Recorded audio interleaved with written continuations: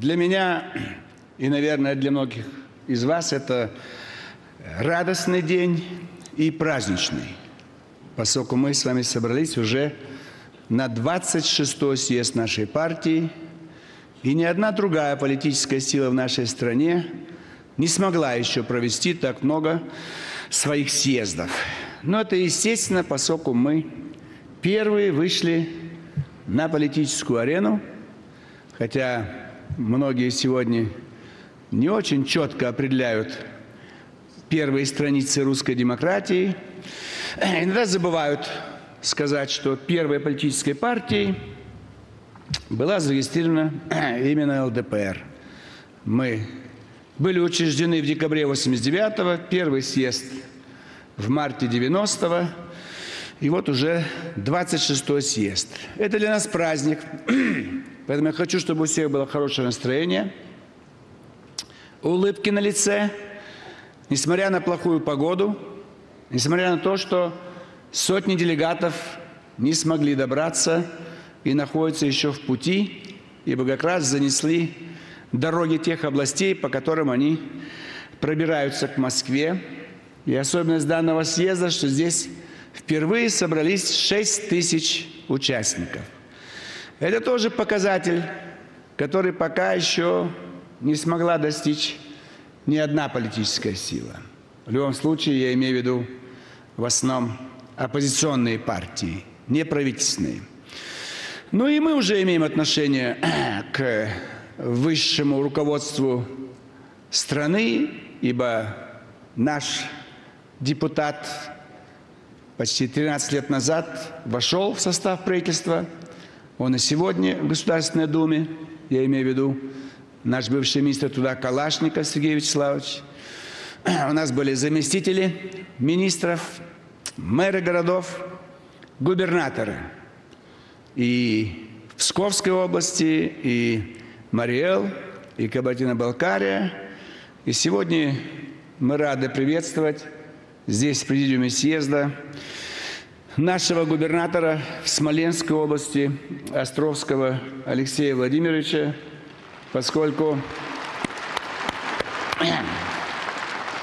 это уже наиболее зрелое участие наше в управлении страной.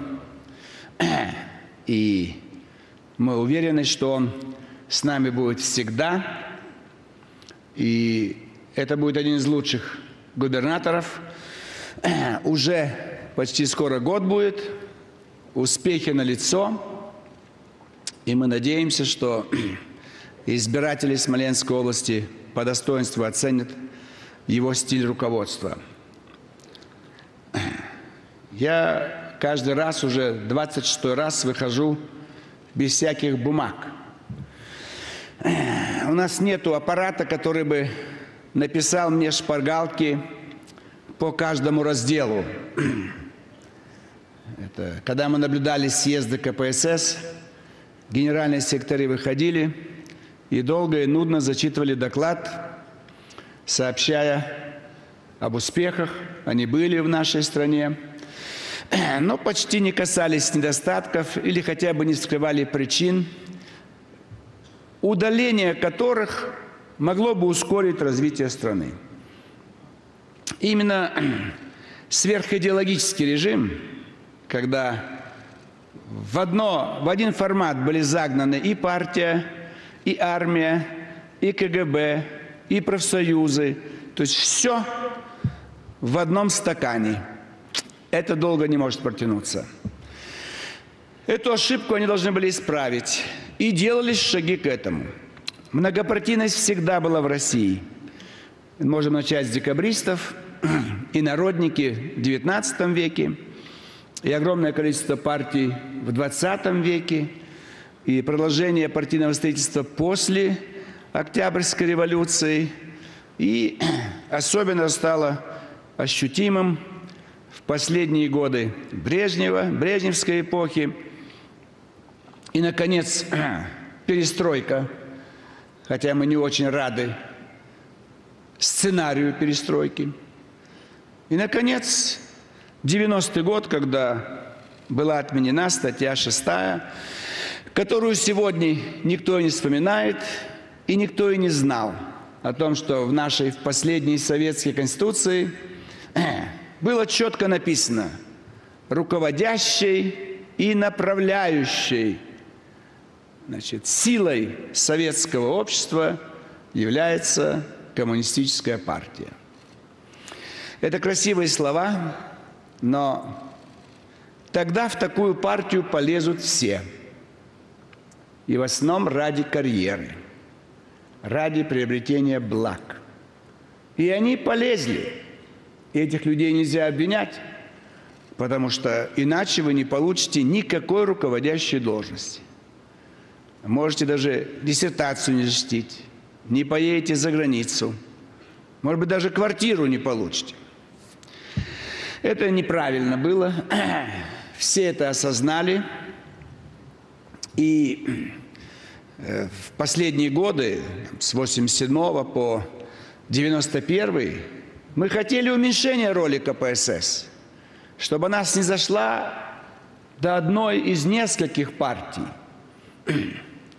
Отличие ЛДПР, мы не бегали по улицам Советского Союза и не кричали «Долой КПСС». Мы не бегали и не кричали «Долой Советский Союз», «Долой Советскую армию», «Долой КГБ». Это нас отличило от всех партий, потому что все, кто начали появляться, они почему-то считали своим долгом начать бить по государству и по силовым структурам. Хотя государство всегда нужно, и силовые структуры всегда нужны. Надо было даже и по КПСС не бить, поддерживать медленные-медленные реформы во всех сферах жизни. Но внешним силам это было неинтересно. Сценарий внешних сил был не в том, чтобы модернизировать Советский Союз. И к той мощи 90-го года, а это было самое мощное государство в мире по совокупности – и промышленному, научному, техническому. Еще бы они бы нам помогали модернизировать, чтобы мы еще мощнее стали. Это в их планы не входило, и, наверное, это естественно. Нам с вами сегодня тоже не очень выгодно, чтобы какая-то страна очень бы модернизировалась и составляла бы для нас более сильного конкурента в экономической и иных сферах. Поэтому сценарий был наоборот. В первую очередь расценить государство слишком большое, использовать для этого национальный вопрос. Это тот самый национальный вопрос, который был неправильно решен в трудах Ленина и других большевиков и реализован с 17 года по 91 год. Страна и была расчленена по национальным республикам. Если была бы единая страна Россия, как сегодня, и везде живут русские, то, наверное, русский народ бы сказал, а что мы делим, собственно? Русские и в Ташкенте, и на Камчатке, и в Риге, и в Тбилиси. Мы что собираемся делить? Но раз были созданы полугосударства в лице союзных республик, а у них был герб, флаг, гимн, свой государственный язык. Поэтому очень легко было э, незаконно разделить страну на 15 частей. И 14 новых государств отошли. Хорошо упакованных, с хорошей промышленностью, с огромным количеством людей, практически половина, с научным потенциалом – преподавателями, культурой. Ну, это как вот большая квартира, и лучшие комнаты мы отдали. Оставшись пол кухни, пол туалета, полторы спальни и проходной коридор. А все остальное ушло тем, кому мы сами добровольно отдали, полагая, что это наше единое государство. В этом как бы был заложен такой идеологический обман – мы жили в рамках одной страны, а нам говорят в 91 году, нет больше такой страны. И нарезали границы. Почему это произошло? Потому что мы в семнадцатом году взяли чужую модель – экономическую, идеологическую, политическую, по всем позициям. В мире всегда будут возникать различные идеологические течения. Возник марксизм, который критиковал капитализм, и сегодня эта критика остается. У капитализма на первом месте прибыль, но наличие прибыли позволяет развивать экономику и расширять рынок и позволять гражданам получать рабочие места и свои доходы. И в перспективе можно было бы трансформировать капитализм, чтобы он не был бы таким жестким, жестоким, как сегодня мы видим на Кипре.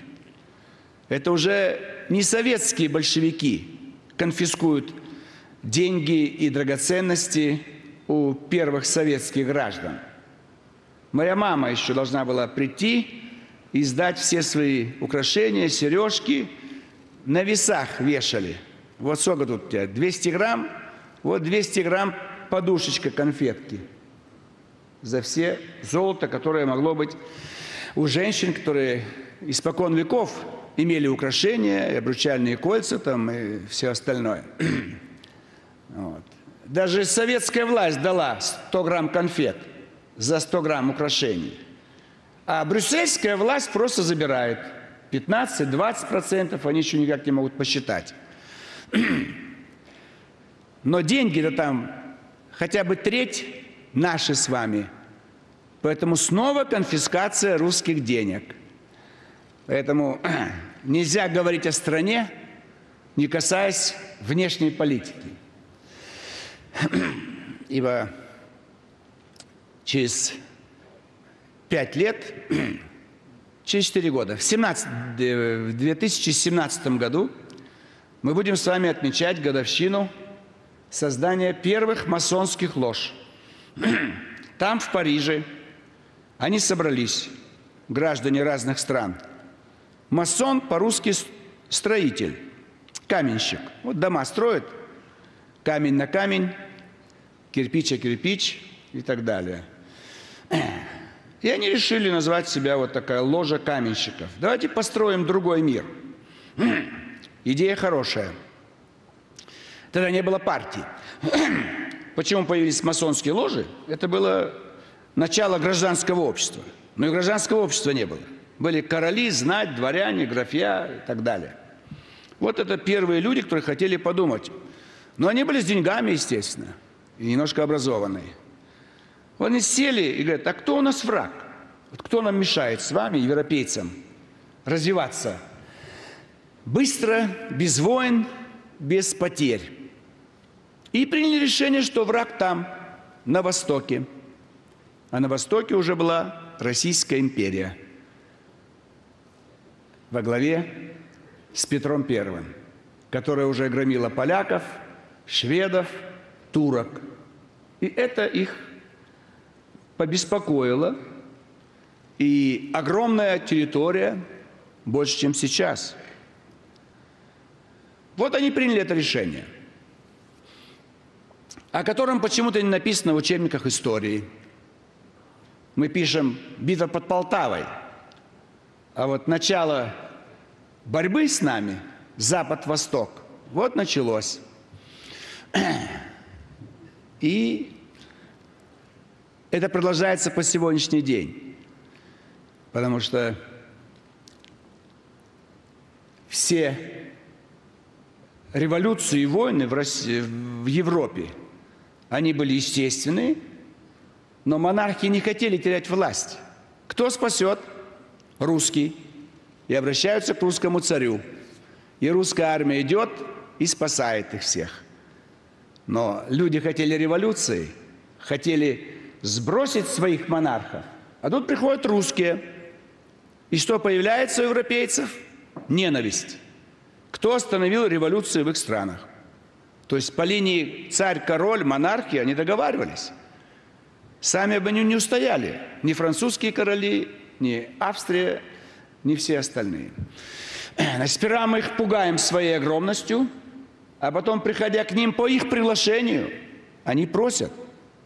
Но народ-то из окна выглядывает. Революция, а тут русская конница, русская артиллерия.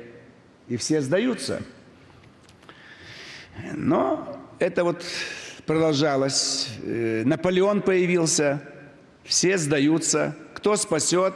Опять к русскому царю. Суворов двигается, Альпы переваливает. Все хорошо, помог спасти. Еще Наполеон был слабый. Но что в остатке? Разозлил Наполеона. И теперь, окрепнув, он задушит все европейские страны и отомстит русским. За то, что они его, молодого Наполеона, остановили в 1799 году. Через 13 лет он покажет. Но мы приходим снова в Париж. Мы опять идем освобождаем вроде бы Европу, но европейцы солидарны. Они боятся, что освободив Европу, русские останутся. И постарались нам практически ничего не дать по итогам разгрома Наполеона. Отдали Польшу. Нам это вредно. То есть нам вроде бы дали что-то, но это вредное. Нам Польша была не нужна. Но надо было брать что-то, раз война мировая закончилась. И вот поляки, наши враги уже 200 лет. И они не виноваты, и мы не виноваты. Но европейцам Польша не нужна, и нам не нужна. Но надо как-то рассчитаться с Россией за вклад в борьбе с Наполеоном. Вы скажете, какая связь с сегодняшним днем? Прямая. Потом будет Крымская война. Это что было? 1854 год. Это было начало Первой мировой войны. Они подошли с юга к Крыму, с запада к Петербургу, на Дальнем Востоке к Камчатку. На Камчатку. Но слабо еще. Это не нашествие Гитлера. Слабо. Мы отстояли. Хотя считается, что в Севастополь мы сдали. Это практически было... Не, не было поражения. Ибо нога неприятеля не ступила на русскую землю – мы просто, э, так сказать, не смогли их победить, но и они ничего не смогли сделать, они ушли. Но они запомнили поражение и, так сказать, добить Россию. И вот вам наступает 20 век, стравливают нас с Японией. Япония не хотела воевать, но американцы деньги, а британцы их подшпиливают. То есть опять мы в повестке дня постоянно. И сегодня, вот Кипр, это мы там. Слава Богу, не солдаты погибают, а деньги русские погибают. Но все началось тогда, с 1717 года. И потом первую русскую революцию за деньги делают. А с, с нами как связано? Болотная – это за деньги. Там вывели людей, Петербург на улице, трясти Российскую империю, ослабить. И здесь вывели на Болотную – ослабить. Все звенья одной цепи. Бить по русскому государству. Наконец, Первая мировая война. Рух, рухнула Германская империя, Австро-Венгрия, Османская. Но самый большой удар наносится по Российской империи. Рухнуло хорошо. Надо добить, надо ослабить. И тогда засылаются большевички из Европы, троцкисты из Америки. Куда ездил Дима Гудков? В нее, в Вашингтон. С кем там встречался? С самыми ярыми антирусскими организациями. Freedom House, значит, Transparency International и так далее. Видите, все повторяется. Все повторяется.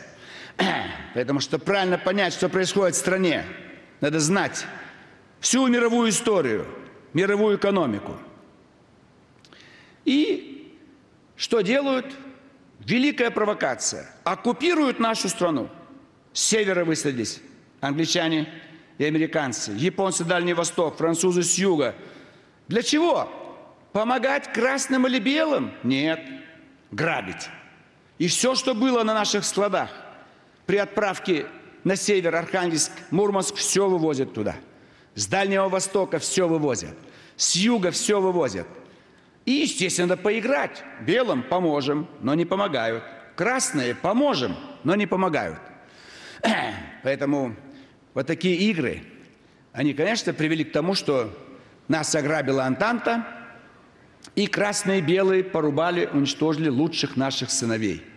Но все равно потенциал был сильный, и советская власть восстановила территорию, кроме Польши и Финляндии.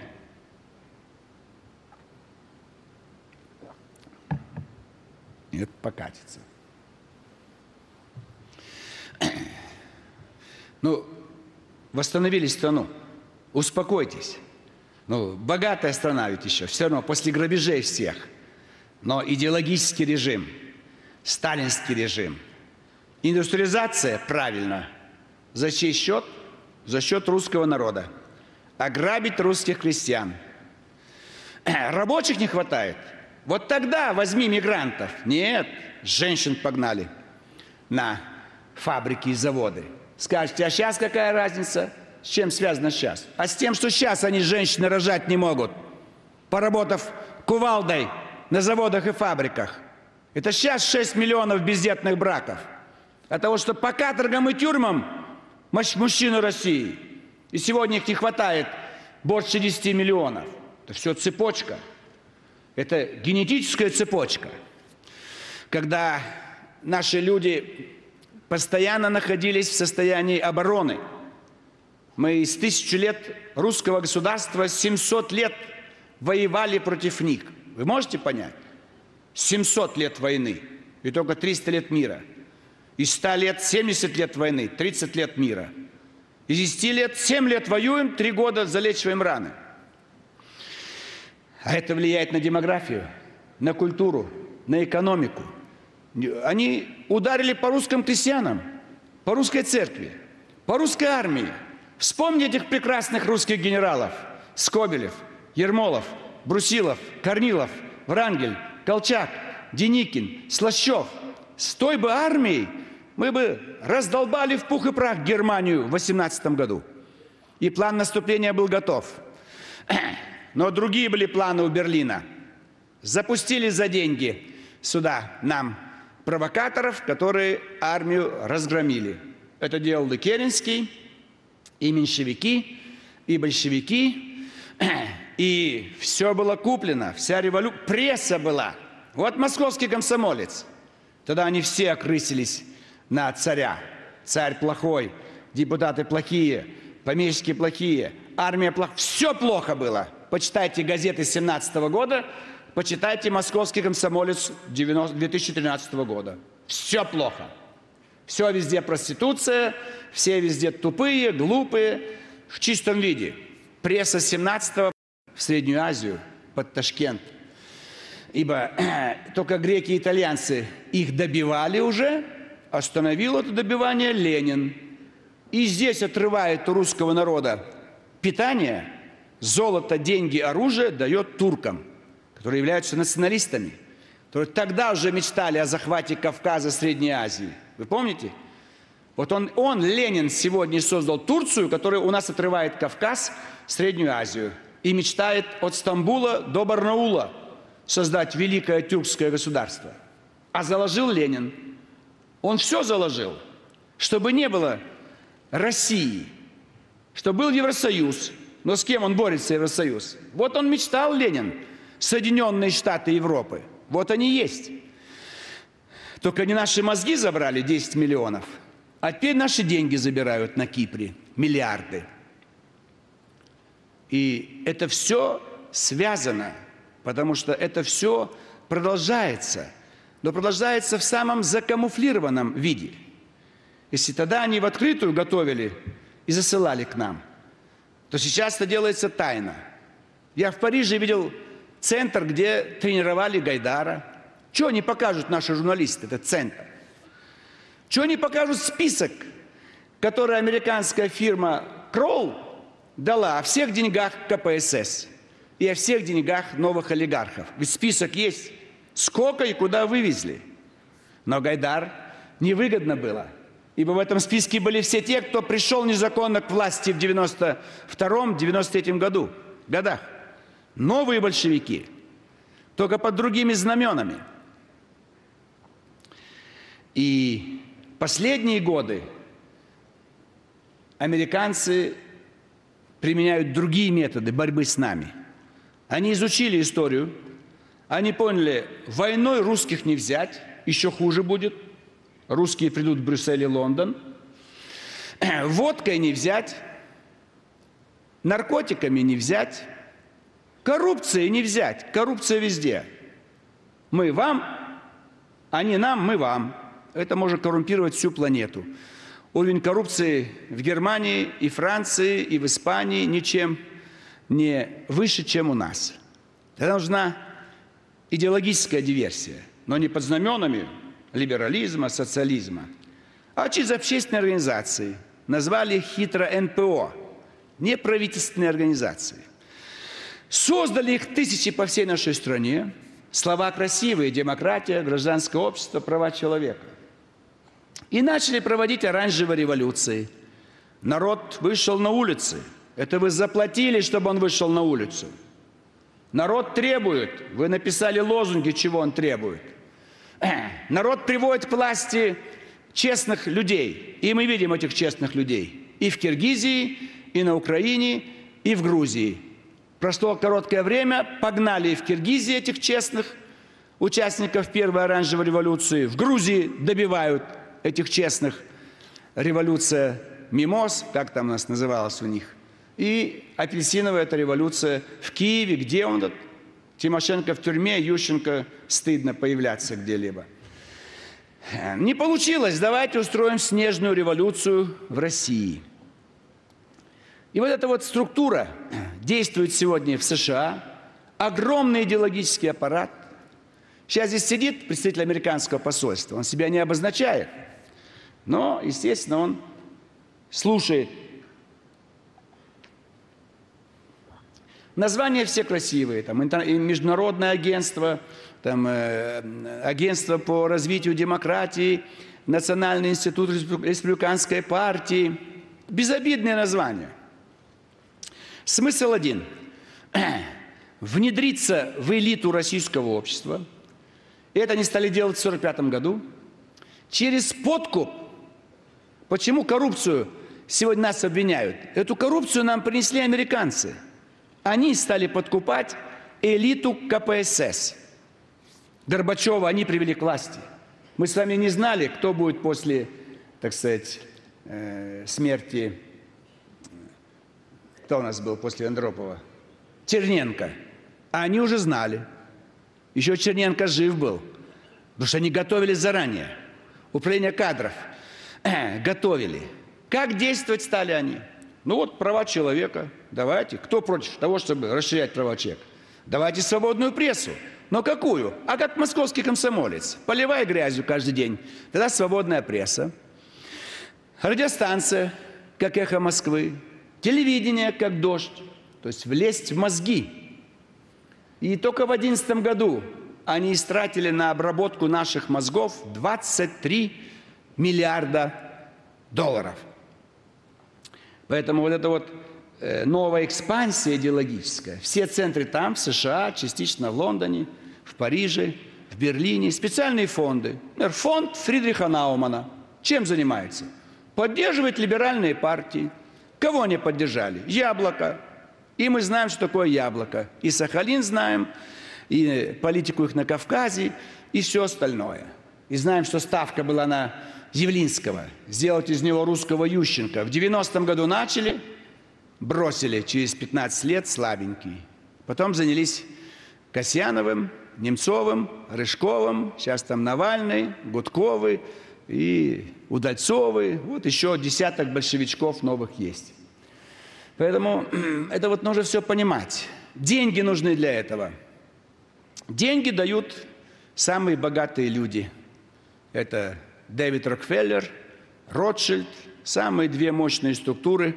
Один американский миллиардер, другой французский, Сакс, Сорос и еще там десяток имен. Но нужна структура. Кто всем этим руководит? Структура называется скромно. Бильдербергский клуб. Клуб там, где люди собираются поговорить. А Бильдерберг отель в Голландии, когда первый раз собрались. И практически они считают себя мировым правительством. У них нет никаких функций, у них есть деньги. Туда Хиллари Клинтон сейчас входит, ушла в отставку. А до этого муж входил, Билл Клинтон. Саркози, возможно, сейчас входит. Вот. То есть бывшие руководители ведущих стран мира, министры финансов или крупнейшие миллиардеры. Вот они собираются раз в год, совещание. Кого будем валить, повестка дня? Шеварнадзе, кто будет Саакашвили, запускайте проект. И побежали все. А начали с Югославии. С Югославии, потом Грузия, потом Украина, потом Киргизия. К России они уже радовались. Уже был состав правительства. Уже хотели объявить все. Началась оранжевая революция в России 5 декабря 2011 года. Они вышли сотни тысяч, Москва бурлит. И показывают кадры, как в Греции вышли. Они уже совсем не соображают головой. Они думают, все люди до того тупые, что не понимают, что в России пальмы не растут.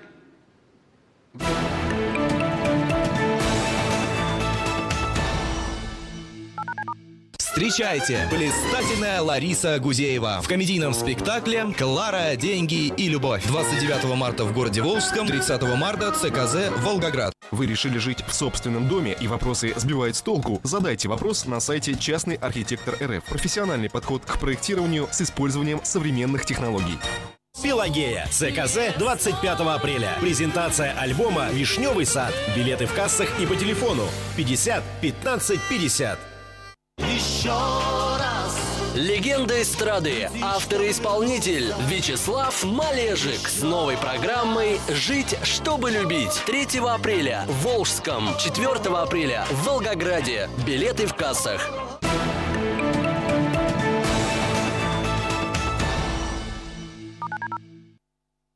Это все от нас осталось. Это мы вооружили нашего будущего врага. Как американцы подготовили маджахедов, Талибан против советской армии. Советская армия ушла сама. Что там делать? Они стали, ими же подготовленные боевики стали биться с американской армией. Так и мы. Э, научили Америку, как готовить руководителей будущих зарубежных стран у себя. Немцев подготовили к войне хорошо. Летчиков в Липецке, э, танкистов в других местах. Значит, горючим снабжали. Еще 21 июня мы заливали керосин и бензин в немецкие танки и самолеты. Сталин знает, что завтра война, а пшеницу идет в Германию, топливом заливают все баки, чтобы быстрее дойти до Москвы. Это недальновидность политики. Незнание, необразованность. Все советские руководители никакого образования не имели вообще. Вузы никто не кончал.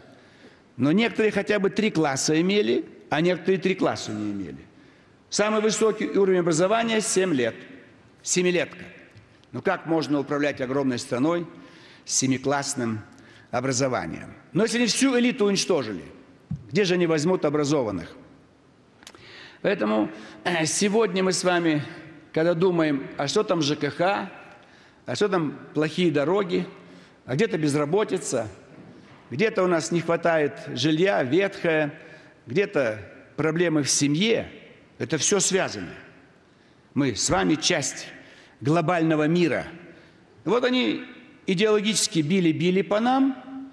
Двенадцатый год тишина, протесты стихают. Тринадцатый тоже тихо. А как бы еще долбануть Россию? Как? А по деньгам ударить.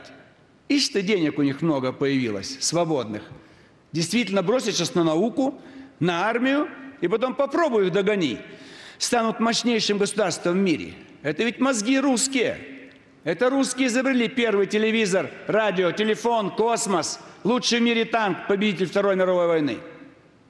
И сегодня они знают, что у них сидят везде русские инженеры, конструкторы, физики, химики, биологи. Они же боятся, что если русских оставить в покое с этими деньгами, никаких революций, через 10-15 лет государство номер один – мы желаем успехов и нашему соседу, Китаю.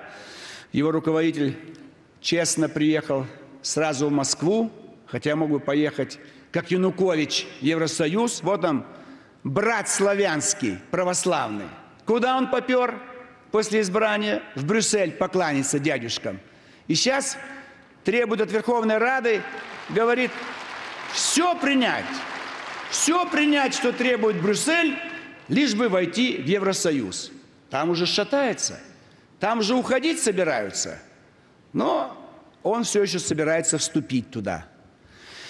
Это, конечно, неприятно нам, когда враг, предатель совсем близко, в нашем родном славянском православном доме.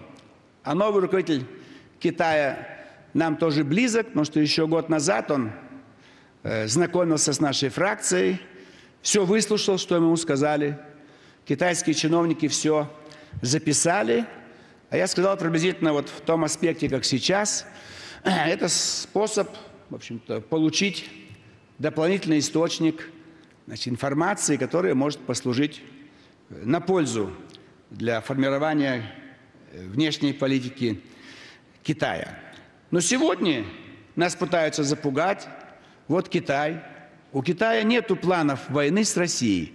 Но надо спровоцировать, надо запугивать, надо устраивать провокации. На Даманском устроили в 69 году. Надо юг поджигать. Пускай будет угроза для России с юга. И мы видим, как дымит Чечня, Дагестан, Ингушетия. А если не дымит, то финансы уходят. Они везде мошеннические схемы есть. Но там концентрировано. Видите, 100 тысяч детей не могут найти. Справки есть, по справке деньги, а детей не было. Это называется мошенничество. Поэтому сегодня мы с вами в состоянии значит, э, рабочем. Сегодня ЛДПР является единственной партией, у которой свой избиратель, свой, родной – Сегодня здесь присутствуют студенты, будущие политологи и в целом молодые активисты, участники съезда.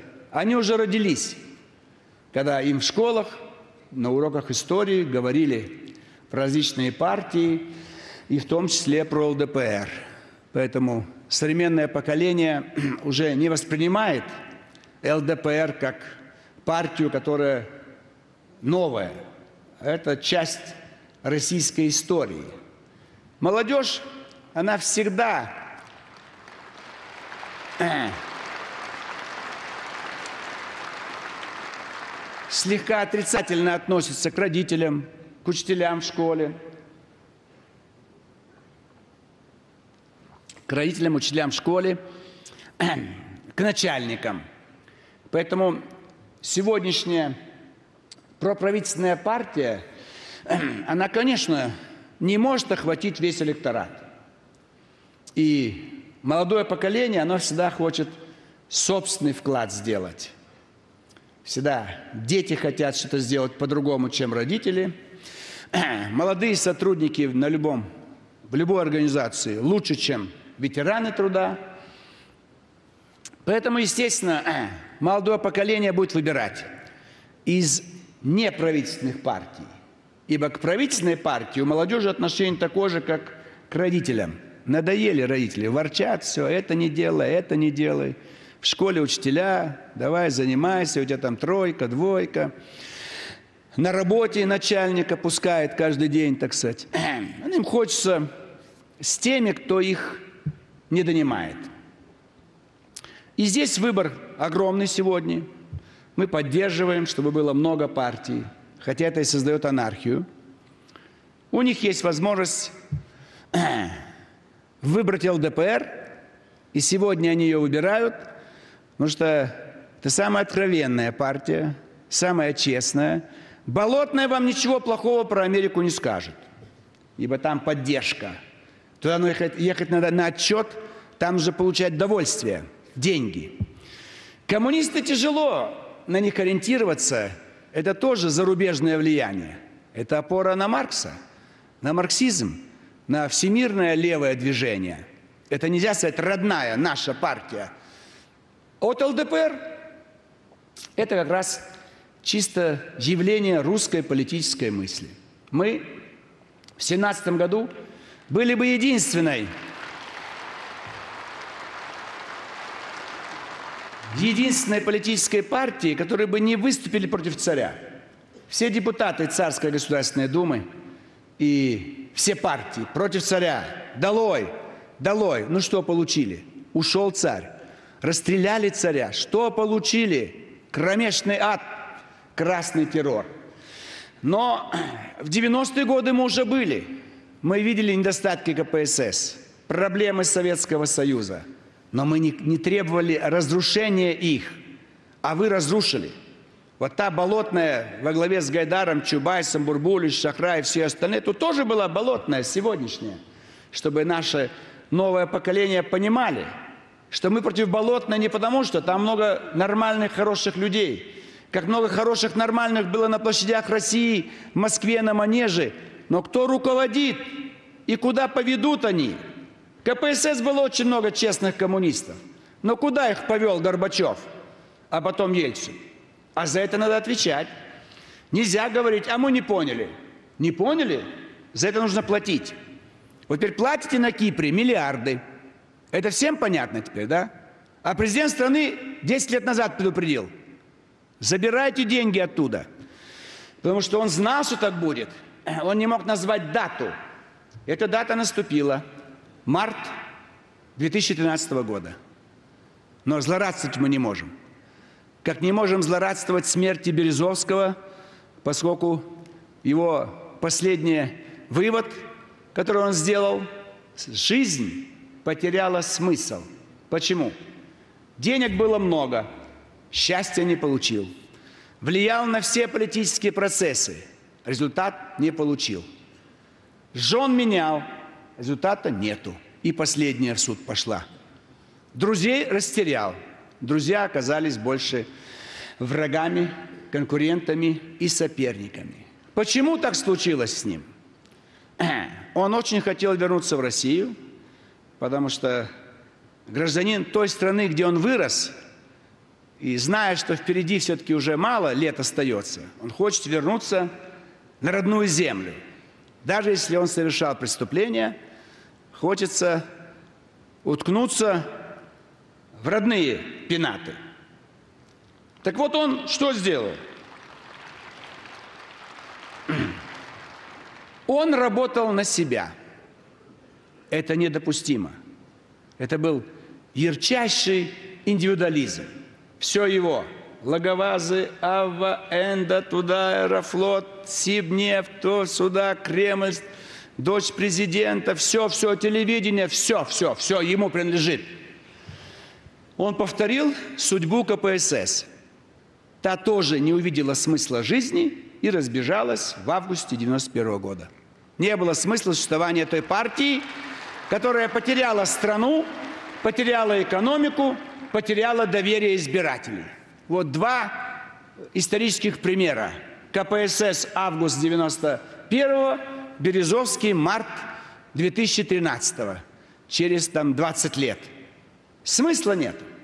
Вот ЛДПР этих ошибок не совершает. Мы никогда не сделаем ничего, чтобы ослабить российское государство. Мы никогда не выступали против армии, ФСБ, против наших рабочих, крестьян, против мелких предпринимателей. Но нам неприятно смотреть на этот новый, молодой частный сектор. Ведь в чем наша причина сегодня? Все требуют другой экономики, либерализация. Государство, уходи, оно уходит. Частный сектор, приходи. А он приходит? Он приходит, забирает деньги и тоже уходит на Кипр. Что остается? Государство ослабло, а частник сбежал с деньгами с нашими. Вот и все. Мы не против частного сектора. Индивидуально человек работает хорошо. Березовский был бы самым лучший фермер – самый лучший там, не знаю, э, э, руководитель какого-то предприятия, он все бы сделал хорошо здесь, на нашей земле. Лучше, чем какая-то государственная структура. Но он хотел только для себя. Это нельзя. Но честно, пожалуйста, зарабатывай. Но когда вы обманываете миллионы, и становится стыдно, стыд приходит. Какой бы алчный, жадный не был человек, ему становится стыдно, он понимает, что это он деньги этих людей истратил. Он родился в России, он учился здесь, вступил в КПСС, украл у всех миллиарды и миллиарды. И читая отрицательную статистику, он понимает, что это же почувствовал Ельцин и со слезами на глазах ушел. Декабрь 99 -го года. И ушел совсем. Это же почувствовал Гайдар и ушел из жизни.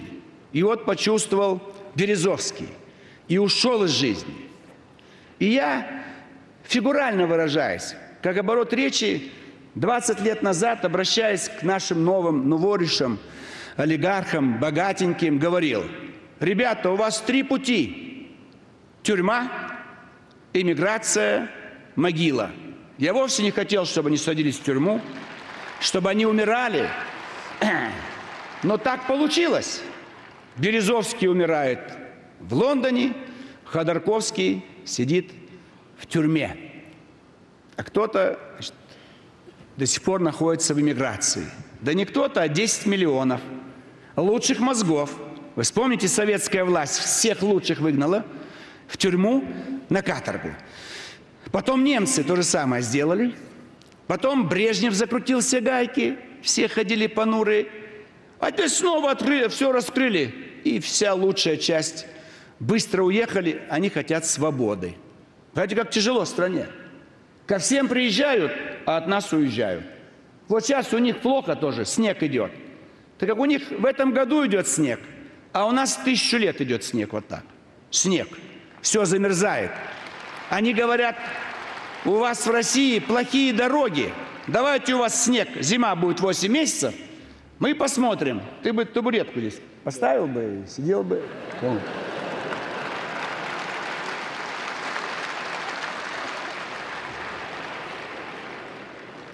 Вот они пускай поживут в таких условиях. 8 месяцев зима. Делегаты съезда не могут добраться. На хороших теплых автобусах скорость 30 километров в час и стоят. Ну что это такое? Вот они пускай узнают. Пусть Гольфстрим еще больше остынет и повернет налево. Что будет с Европой? Мурманск, Воркута. Европу ждет Воркута. Воркута. И нас где-то подморозит.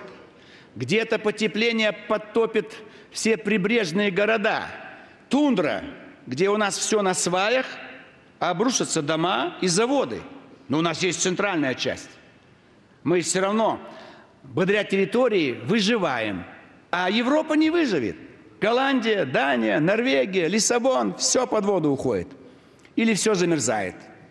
Все остановится. Мы, но мы не злорадствуем. Мы просто им говорим, вы на Западе, посмотрите, мы вот так живем, значит, 1150 лет. А в состоянии войны мы так же, как ваша армия в Афганистане, в Ираке, в Ливии и сейчас в Сирии. Вот так мы, как осажденный лагерь, постоянно против нас прут враждебные нам силы. Как вот развивать экономику, культуру, когда обстреливают Дамаск каждый день? Поэтому э, мы, э, я хотел бы, чтобы э, члены ЛДПР все это понимали, знали, чтобы вы всегда были патриотами России, чтобы вы всегда любили Россию и не очень обижайтесь на иностранцев. Всегда завидуют богатым. Мы богатые не деньгами в кармане, мы богатые огромной пашней, которая нас прокормит, если мы начнем ее правильно обрабатывать. Мы богаты огромными запасами воды, а миллионы погибают от жажды. У них воды нету. Мы богаты транспортом, перевозить любые грузы от океана до океана. У них нету. И недра. У нас есть все. У них ничего нету. Нету ничего. Пустая европейская земля. Все шахты закрыты. В Бельгии, Франции они все вычерпали. Все деревья завяли – страшная экология. Все реки почернели. В Средиземное море они не купаются. Они сидят на берегу, дистиллированной воде, в бассейны там, только туда входят. И, конечно, смотрят туда, на Россию, где горы, степи, леса, тайга, огромные города, огромные пространства и, самое главное, талантливейший народ. Поэтому я вас прошу на местах, усильте партийную работу. Э, демократия должна быть снизу, сверху, из Москвы. Только я или высший совет, депутаты, нам тяжело проконтролировать всю партию на местах. 44 тысячи поселений. У нас не в каждом поселении может быть даже один член партии. Поэтому вас прошу вас, возьмите под контроль все финансовые ресурсы, все штаб-квартиры, всю пропаганду, заключайте договора с коммерческим телевидением, радио, выпускайте газету. Все, что нужно, мы из центра поможем. И на местах вы сможете. Омолаживайте, обновляйте, оздоровляйте. Это вечно относится к аппарату кадровой работе. С, мы с большим уважением относимся к старшему и среднему поколению членов партии. Их никто ни в каких правах никогда не должен ущемлять. Но есть вакансии, есть выборы в МСУ, где мы с трудом закрываем 20-30% мест. Но вот здесь молодежь-то и хочет, уже 18 лет можно. Так подтолкните их туда, как желтеньких цыплят, чтобы потом подрастут они, и что-то из них получится. В этом смысле есть возможности дать стопроцентные шансы для всех, для всех, для вас. Но молодежь – это энергетика, это творчество. Кто все революции устраивает? Посмотрите на арабские революции. Это молодежь до 30 лет. Кто шумит на улицах Европы? Греция, Кипр. Это тоже молодежь. У них больше азарта. Они легки на подъем. Поэтому старшее поколение все, что можно делать, и среднее. Но дайте возможность в поле выйти и сотням тысяч активистов ЛДПР, которые могут, но они стесняются, они не знают, что можно делать. Сейчас мы могли сделать с вами сколько? Приблизительно три, э, наверное, сколько членов участковых комиссий мы могли э, э направить? 100 тысяч. Вот только в Москве 3 тысячи мы направили. Вот им 100 тысяч человек на 5 лет могут стать членами участковых комиссий. А это с работы нельзя уволить. Это какая-то зарплата, это учеба. Вот 100 тысяч. Надо все это использовать. И с 18 лет можно. А тем более низкий уровень выборов. У нас везде должны быть депутаты. Местное самоуправление, район, город, область, край, республика, везде. Вот он сидит, депутаты Государственной Думы. Вот мы можем сформировать правительство, если потребуется. Они могут стать министрами, могут стать губернаторами, мэрами крупных городов. У них достаточно знаний. Я пять раз был кандидатом в президенты. Никто в нашей стране не был в состоянии физическом и моральном стать так много раз кандидатом в президенты. Побеждать тяжело, потому что страна сохраняет традиции самодержавия – и традиции КПСС. Когда Брежнев умер, потом начались какие-то изменения. Хрущева обманным путем убрали. Сталин тоже умер на посту. И Ленин. Это плохая традиция. Но придет время, и мы будем каждый срок избирать нового президента.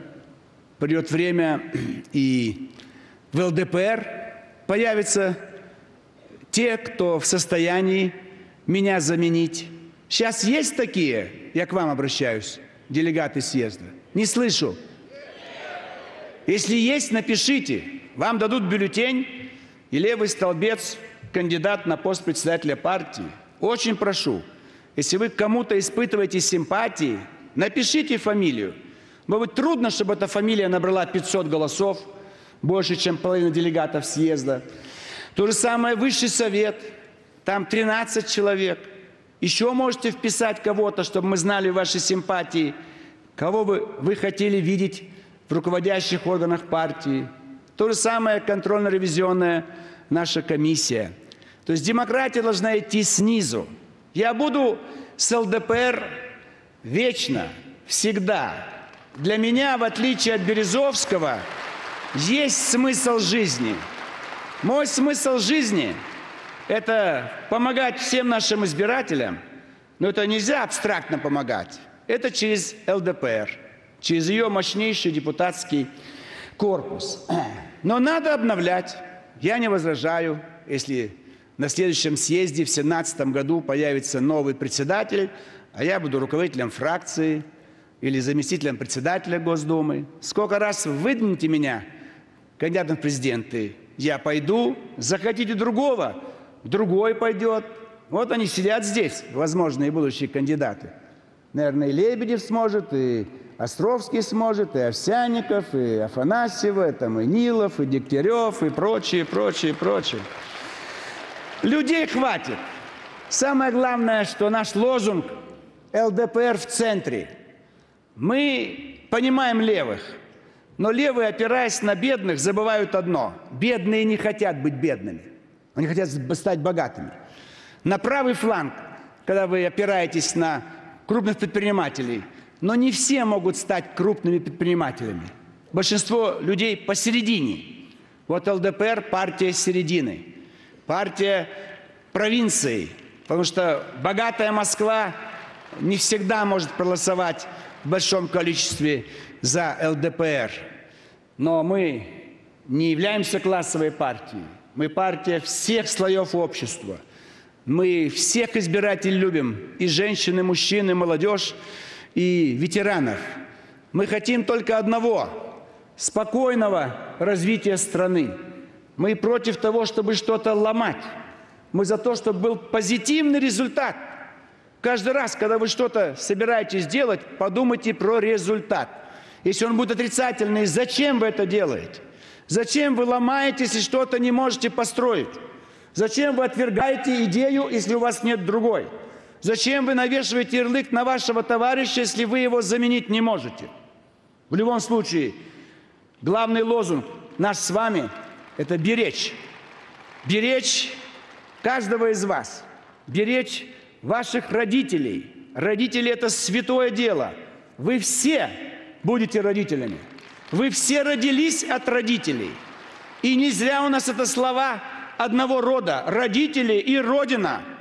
И малая родина там, где ты родился. Поэтому это все должно касаться каждого из нас. Поэтому я призываю, это исторический съезд, 26-й съезд ЛДПР – в следующий раз мы соберемся в таком же зале через три года утверждать списки на выборы в Государственную Думу в декабре 16-го. Никаких досрочных выборов не будет. Никаких отставок правительства не будет. Это делают те, которые хотят снова дестабилизировать обстановку. Снова, чтобы заполыхала страна под знаменами, чтобы, как в арабских странах, сожгли бы машины, разбили витрины, разграбили банки и убивали бы людей каждый день.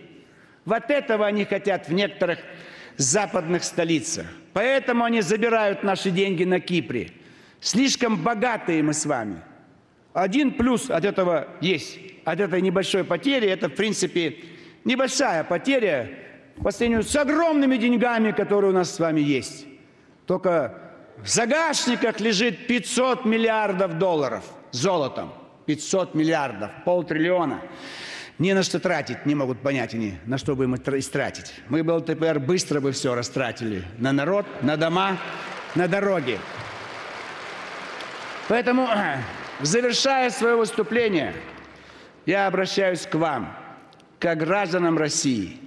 Мы должны уважать друг друга, любить друг друга – простить всех, и монархистов, и коммунистов, и ельцинских демократов, и ультралевых, и ультраправых, и тех, кто сегодня сидят уже в СИЗО, те, кто болеют, лежат в больницах, простить детей наших, которые сбежали из дома, их там обижали, или они просто романтики, они хотят быстрее почувствовать себя взрослыми.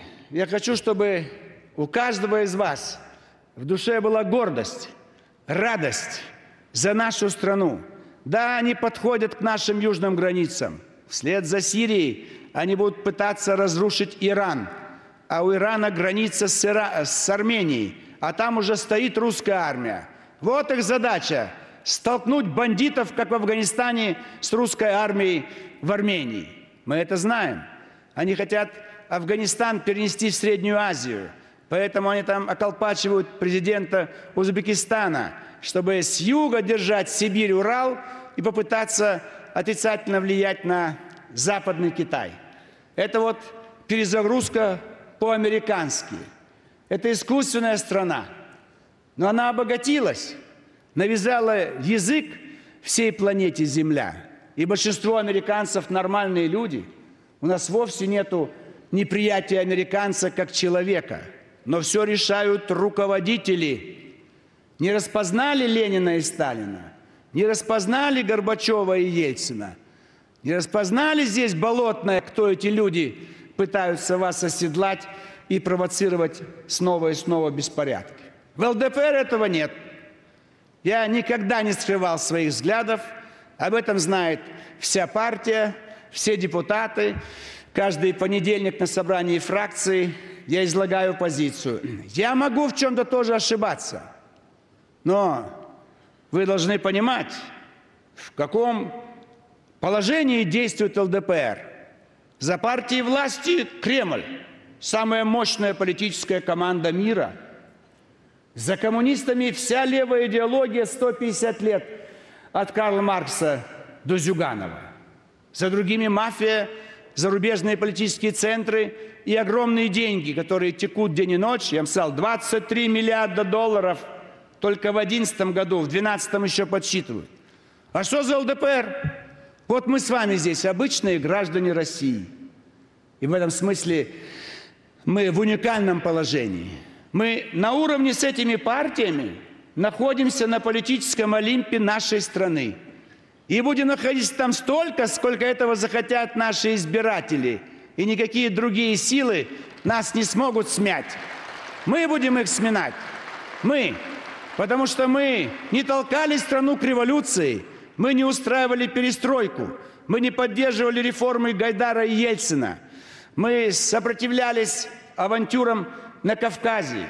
Мы берегли наши деньги, нашу культуру, нашу историю.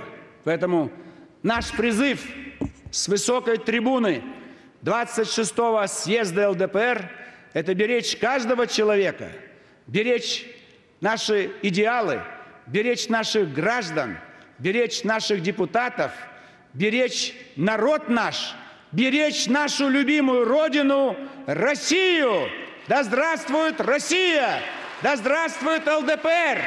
Да здравствует мир, спокойствие, процветание всех граждан Российской Федерации!